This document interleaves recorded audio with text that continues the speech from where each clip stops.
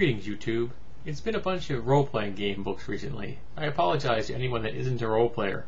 But for those that are, today I'm going to talk about Warriors from the Skirmisher Game Development Group.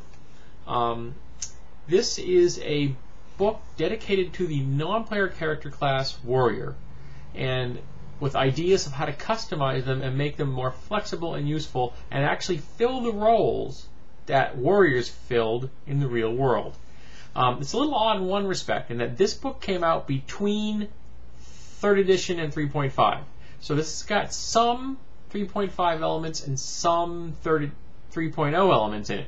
Um, but any GM or player with their salt could convert this on the fly. There's absolutely no difficulty whatsoever. Um, it has some interesting ideas in here. And the most interesting idea in the entire book is what they call subtypes. Types. Now, the subtype is a particular type of warrior as opposed to more of a generic warrior. Because the NPC as it class as it's presented is very generic. So, for example, the subtype archer gives the you spend your first level feat on this subtype and it gives you the some of the archery uh, improvements that would come from some of the archery feats. And, but, but the most importantly, what it does is it allows you to substitute some of your feats.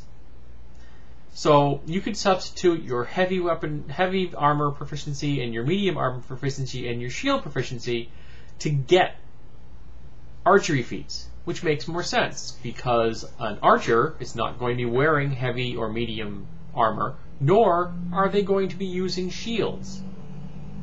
Most would never even use a buckler, because bucklers, in the real world, are held in your hand.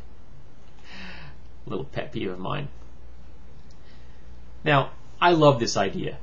I've actually been extolling this idea for ages, for years now. I've been talking about the idea of allowing fighters and warriors to switch out fighting feats at first level.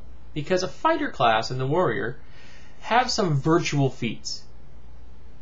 Shield proficiency, heavy armor, medium armor, light armor, simple weapons, and martial weapons. Now, I think martial weapons should be just a feat. Simple weapons feat gives you access to all the simple weapons out there. Why doesn't the martial weapons feat give you access to all the martial weapons?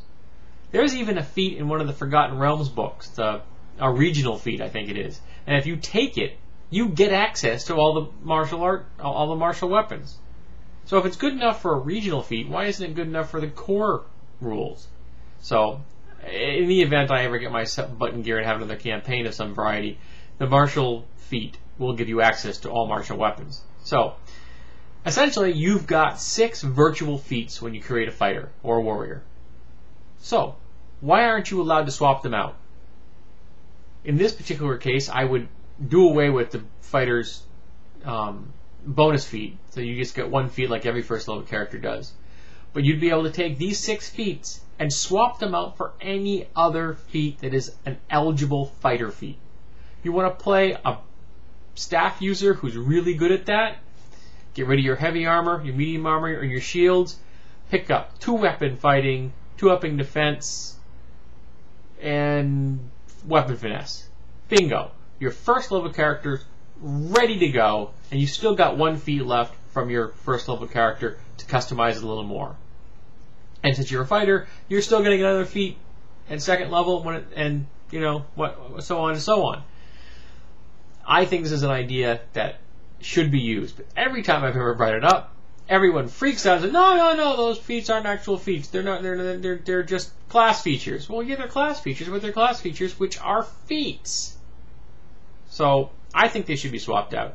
This game introduces that concept uh, in an official rules type supplement, specifically for uh, the warrior NPC, but it can be easily adapted to anything else. Of course, there are other subtypes in the game too. Uh, siege weapon, engineer, mounted infantry, infantry, cavalry, you know, in every every conceivable role, marine you can think of in, the, in, in a military, it's in here. Um, there are some monsters which are okay. Um, there are some feats. Eh, the feats are a little wishy-washy. There's some spells. The spells are pretty cool. Uh, magic items, they were nice. One thing I really enjoyed about this is that it's a lot of flavor from India. India has a long history of martial excellence, but very few games and very few uh, Western sources really talk about the, the Indians' tradition of, uh, of fighting. So I thought that was kind of cool. Um, I picked this game, this book up cheap off of Amazon. I think I spent four or five dollars for it, if that much.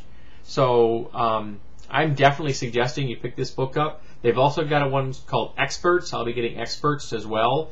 And I think they have one called um, Test of Skill or something like that about how to use skills in a different way. And I'll probably eventually pick up those, uh, both of those. Um, but it's a good book. It's a lot of interesting ideas and I think that we should let warriors and fighters have lots of fun toys to play with.